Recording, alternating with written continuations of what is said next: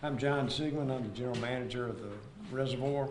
Let me tell you where uh, it stands and what the situation is with the reservoir. Not to be redundant, but everybody knows it rained a lot. It rained a lot in Carthage and Walnut Grove, 12 inches.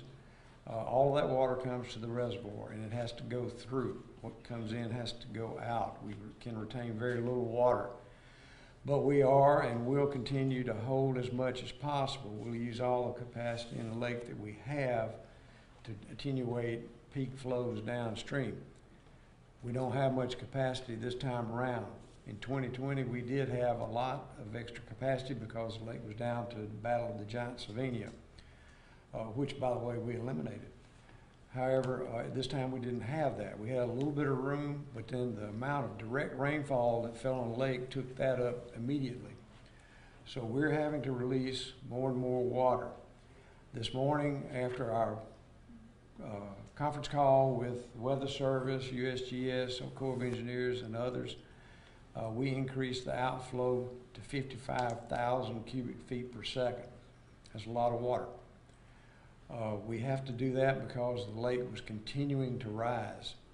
Uh, if the lake rises, ultimately uh, the dam will fail because it's designed to do that. At a certain elevation of 300, water comes over the emergency spillway, it self erodes. Uh, contrary to popular belief, we don't have a way to activate that with a switch or with dynamite or anything like that. It self erodes, and then you're suddenly putting 10 feet of water from the lake downriver, and that's an uncontrolled situation that we don't want to have to face. So we're continuing to let water out. What we're doing now is letting a little more out than what's coming in in order to attenuate the peak that's going to hit us on Monday night, Tuesday morning. That peak is estimated at this time to be 67 to 72,000 gallons, uh, cubic feet per minute, per second, excuse me. 67 to 72,000 cubic feet per second. That's a lot of water. That would run the river up to 36 feet. Uh, and the, the uh, estimates of the river stages and so forth are made by the Weather Service, by the experts in Slidell, and they know what they're doing. Uh, right now, at the uh, flow of, uh, I get all these numbers in my head. At, the- at the flow of 55,000, we would expect the river to rise to 35 feet. We don't want to go any higher than that if possible. At 35 and a half, we start getting water in houses, and uh, Ms. Lowe called me, and she was very concerned about it because she got water in her house two years ago. Things like that we need to be aware of, and we want to do the best job we can to prevent that.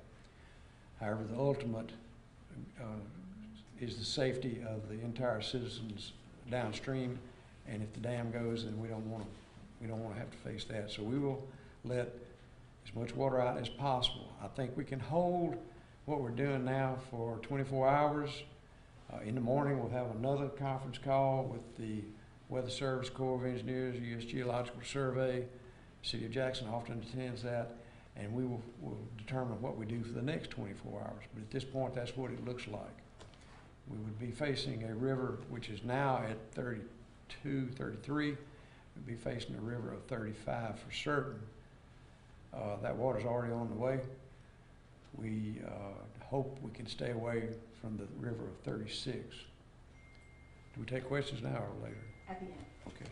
Roger.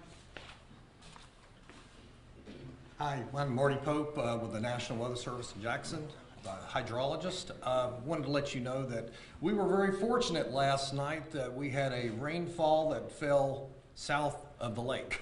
We had some massive, some pretty good flash flooding last evening. So we were very fortunate. What's good about that, just a little rain that did fall upstream did not hurt us any. All the rivers and streams up above the reservoir are either falling or at, or holding steady. The only place we see any rise right now is at the upper end of the lake at Ratliff's Ferry, where the water is continuing to rise there as, as it moves towards the, towards the spillway. Uh, currently, we're, we're looking at, like you said, right now, we have a, the current stage at Jackson here is at thirty-three twenty-five, And uh, we should be tomorrow, based upon what John's discharging, somewhere between 34 and a half and 35 feet uh, tomorrow morning. Uh, So we're, we're hoping to keep everything uh, with, try to hold it and go up just as, as we have to is with this. So these calls that we're doing with the, uh, with the Pearl River Valley is very instrumental in helping us to keep as much, uh, uh, control of what's going on as we possibly can. One of the things that we need to let you guys know is the fact that, uh, uh, this is not a short event. You know, we're, we're not gonna even crest until, um, say, Tuesday morning here. The water after that will stay high for a while. When we get heavy rainfall with a high river, there's a potential for flash flooding along the streams that are inflowing into the river. and neighborhoods, if that water stays in there for any time, it will have a possibility of doing, because we're gonna see afternoon thunderstorms. We could see some, uh, you know, like we did yesterday, where big line moves up through the area. We could see those kind of things for a while, but it is a, a, a long-standing thing. I want to also give people an idea, back in, uh, back in, uh, twenty twenty, the gauge at Highway eighty was, was not there, but they had a forty point, they get forty-two point nine feet on the Lakeland gauge. So if you are going to our website, weather.gov slant jan and click on um, rivers and lakes, you can actually go and find river gauges. And the, uh, the one that's there is the Lakeland gauge too. It got to 42.9. We're looking at possibly going to around 42 feet this time. So you can look at that to help know where you stand, especially in the northeastern Jackson area.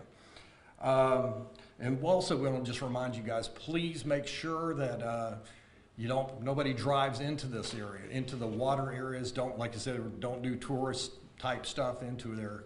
And when, like, as the Weather Service always says, turn around, don't drown. Make sure to, uh, don't put yourself in harm's way. Thank you.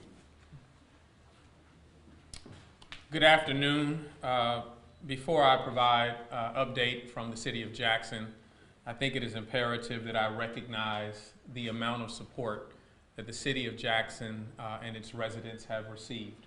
So I want to take a moment to thank all of the agencies represented here at this moment uh, that are allowing us to be uh, prepared in advance of the event that we expect Monday into Tuesday. Uh, it is their support that allows us to get the sandbags out. It is their support that allows us to get the critical information as to what we can expect. Uh, it is the support of uh, our constituent services department uh, that provides and, and is able to, to meet people where they are, our fire department, our police department, the county. Uh, the list goes on and on.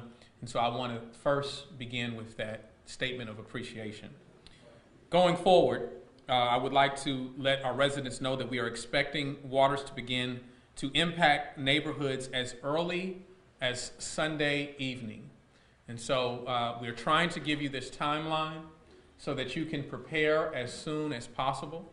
Uh, if you were one of the early impacted communities in 2020, it is likely that you will be one of the early impacted communities in 2022. Residents in those impacted areas uh, should be ready to leave within 48 hours. JTRAN is on standby to help those who plan to evacuate. However, they cannot once the waters have moved in.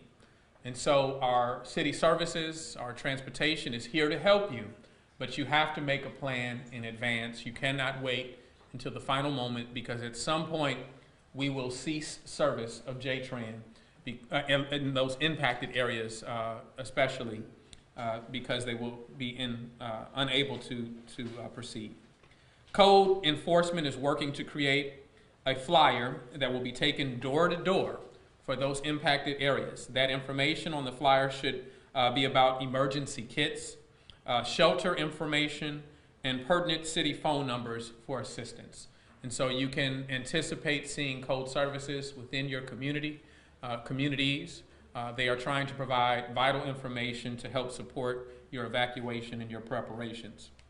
Uh, I want to thank the partnership of the Hinds County uh, Emergency Management uh, and also of the Red Cross. Uh, they will be helping to assist in the opening of shelters as needed. Uh, we will be able to provide more information uh, later within this press conference as it relates to those shelters. Patrol will be stepped up in all affected areas to ensure safety of not only residents, but also safety of property. So those residents that are hesitant to evacuate out of concern for your property, the city of Jackson, uh, along with the county, uh, we will be working to step up patrols to protect your property. So don't allow that to be an impediment uh, for you saving your life and saving uh, those lives of the other individuals within your home. Sandbags are available today at Michael Avalon uh, until 5 p.m. And there will be sandbags available Saturday and Sunday from 9 a.m. to 6 p.m.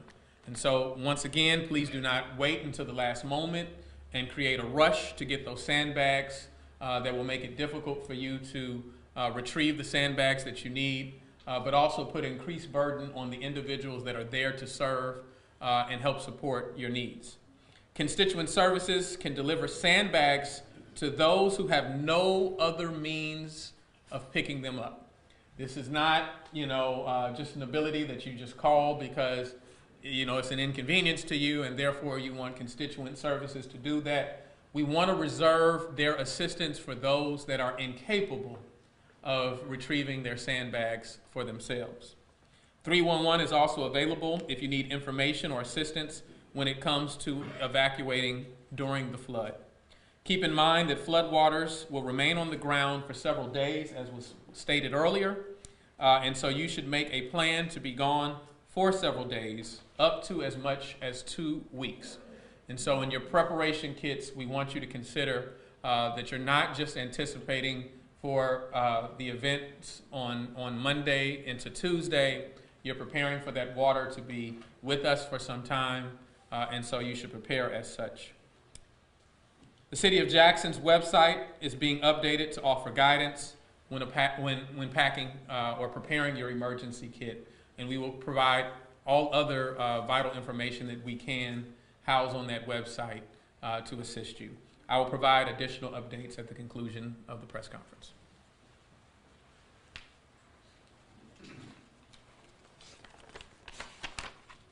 Good afternoon, Joey Perkins, Director, Hinds County Emergency Management. Uh, The main thing that we want to get out uh, right now is uh, to prepare yourself, to prepare now. Um, You know, that could possibly save your life. Uh, Knowing your risk is important. Uh, You know, if you flooded in 2020, it's very possible you're likely to flood uh, with this event. So make preparations to evacuate if you need to. Let your family, let friends know where you're going. Keep in touch. Uh, you know, communicate with others. Uh, prepare your home. Uh, again, um, patrols will be uh, through there. You know, if you leave your uh, lock your house up, leave your belongings. avoid the floodwaters. once the water rises, again, uh, don't walk through the water, don't drive through the water. Uh, turn around, don't drown. The emergency management will continue to uh, assess uh, the situation and work with the city and the state uh, as needed. Thank you.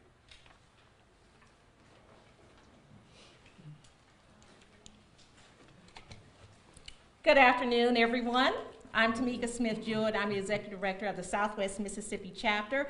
And on behalf of our entire Red Cross workforce, I want you to know that we are committed to alleviate human suffering. Just like everyone else in this room, as the mayor mentioned, it takes a team effort, so we're glad to be a part of this effort in making sure our communities are safe. So I also want to share that our volunteers are on standby. I just left our office and there's a group there and they've been at this for several days now. And we also have shelters. That's the good news. We have two shelters that we have identified. One of those locations will open up this evening around 6 o'clock, and that is located at the Jackson Police Academy, 3000 St. Charles Street here in Jackson. This information will be shared on our social media site. We'll also share it with the city um, Jackson for their website as well. The other location, we will release that um, later on when the need arises. But again, this is a team effort. We are proud to uh, be a part of so many amazing people who want to protect the citizens of Jackson. Um, I definitely want to also include that we've heard this message over and so many times prepare, prepare, prepare. And I just want to people at home who are listening to know that this is not a time to be scared. You don't have to be scared in your preparation. And if you're not in the impacted areas, also take this time to prepare your families uh, for other disasters. So um, if you need tips on how that's done, we have lots of information at redcross.org. You can go to our website, and that um, is Red Cross, I mean, our, uh, our social media sites as well, and we have lots of tips there. Feel free to follow us on our social media pages. We have a Facebook and Twitter um, accounts as well as Instagram, and that information and all of Red Cross uh, services throughout this event will be posted there as well. So stay safe, everyone. Don't be afraid. Just prepare now.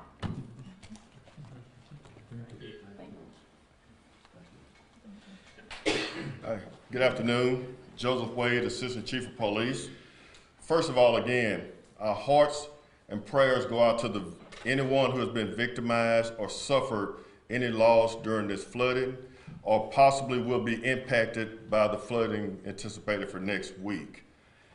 I want to assure you that the hardworking men and women of the Jackson Police Department are ready, available, and committed to mitigating this event. We have all hands on deck. If you leave your home, feel assured that we're going to have extra patrol in your area. We're concerned about your life being safe. We'll take care of the property aspect. We know that there is a contingency of individuals who want to victimize people in these times. We'll be ready for them. I guarantee you. Uh, we continue with our planning and preparation. We're evaluating our resources. We're assessing our manpower. And we'll make sure that we have every aspect of this event covered. We ask for your patience, your prayers in dealing with this event. We know a lot of people are going to be impacted. We've worked these types of events before. And when you lose your home, there's not any words that we can say, you know, to help you get past that. But we're going to do everything we can in the meantime to make sure you're safe, the city is safe, and we get past this event. Thank you. Good afternoon, Tyree Jones, Hinds County Sheriff. Hinds County Sheriff's Office has identified more resources to be able to work collectively with you, the mayor, the other citizens and people that are responsible for responding to this event as we do expect it to come about within the next few days as well. We have identified resources. We will be, there will be extra patrol available in the city of Jackson, but not only that, we do know that there will be parts of Edwards, near the Big Black River that will be affected, as well as Terry as well, near the Rosemary, Rosemary and uh, Marble Monkey area as well. We've identified resources to be able to assist in those areas as well. Again, we just ask that everyone take heed to the precautions, make sure that you leave your property, take the necessary things that you need to take with you, but rest assured, between the Hinds County Sheriff's Office, the Jackson Police Department, and other law enforcement agencies, we will be available on site to protect your property until you are able to return to your homes as well. That's all we have. Thank you. Uh, I just want to take a moment uh, to speak to another matter uh, that has relationship to the needs of residents at this time, uh, but not specifically related to the uh, to the flooding. Uh, I want it to be known that Byram is dealing with a water line break, uh, which has challenged some areas of Byram with either low pressure or no pressure, and crews are working near Gary Road uh, in order to uh, make the, the necessary repairs and uh, for pressure to increase in that area. Also, there are parts of South Jackson. Uh, an issue was reported last night around 11 p.m. Uh, crews are checking valves uh, at that location to determine what is causing an issue with the well. This is not associated with the water treatment facility. Uh, this is a concern with the well. Uh, many of our wells uh, experienced uh, challenges when uh, power was lost due to waters rising and, and challenges there. Uh, and so there have been repeated efforts to correct whatever complications have been established with the well system as a re- relation to that. We hope to have an update once the inspection is complete, uh, and then the repairs can be made. Uh, so I wanted to provide that information uh, with respect to the ongoing water delivery. I want to emphasize uh, that constituent services is prioritizing the distribution of sandbags right now. Uh, water will be made available um, at multiple loca- uh, locations across the city. We will be working with your council representation uh, for them to help coordinate in each ward uh, places uh, where water can be picked up. Uh, and so I want to make certain that that is understood. Uh, and with that, I think we can open the floor for any questions that you have. I know that during 2020 that Department of Wildlife and Fisheries also helped with some monitoring of some of those areas once the water rose, as well as maybe some rescues. Is there any coordination happening, or is it too soon to know that? Uh, well, it's, it's a little soon to know. Uh, you know, what we are is expecting the worst, you know, and praying for the best. Um, and so I think that's the, the sentiment of everyone who's standing before you. I will like, I would like to note that we have received excellent coordination and support from MEMA, uh, which often is the, uh, the liaison between other state agencies uh, to provide that support. In the 2020 event, Wildlife and Fisheries did not hesitate to act and respond to help uh, with boats and, and uh, support people. Uh, neither did the county or our fire department, uh, which has a, a limited supply of boats as well. Uh, so that, you know, I, I would not have any fear that they would not have an adequate and appropriate response in the event that we find ourselves in that place. Yes. This may be for Mr. Pope more than anybody else, but I know we're, we're hoping for rain south of here, but what is, or what is the expectation north, which would impact the, the reservoir more? Well, right now, what we're looking at is, is uh, just the, the chances of showers, just like in the afternoon type showers that we have. And uh, today's a little more, and we have a little greater chance today than we do tomorrow. And I think beginning and tomorrow and through early next week, I believe we're going to be just more afternoon thunder showers. But if you remember, we can get some pretty heavy, heavy uh, type and fairly widespread rains even on those. So it's going to be something we're going to have to monitor each day. Can we expect to see additional news conferences over the weekend as developments arise? Uh, absolutely. Um, as, as we have shared with you, you're going to see a lot of us over the coming days uh, in preparation uh, for the events that we expect Monday uh, into Tuesday. Uh, and so there will be additional information. Uh, just in this moment, I'm looking at our data scientists. So, to the extent that we can provide data of what it, we experienced in 2020, uh, we'll release all available information. Uh, the unfortunate events that we suffered as recently as two years ago uh, has served not only as a lesson in how we prepare, how we fill gaps that, that we, you know, quite possibly have not filled in, in past years. Uh, and so we have unfortunately had uh, a lot of experience in this area recently.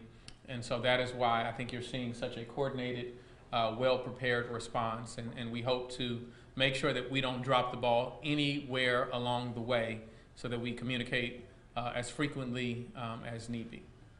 Mr. Mayor, I don't see anybody here from the school system, Jackson, JPS. Will this not impact them, or is going, is this a, is this fluid? Is- Well, well, I, I do want it to be known that while they are not physically present here, uh, they have made contact with me and I'm certain other agencies to make certain that their interests are represented and, and that they're able to communicate uh, with the scholars and their parents. Uh, we know that um, I think McLeod Elementary uh, and Casey could potentially be impacted.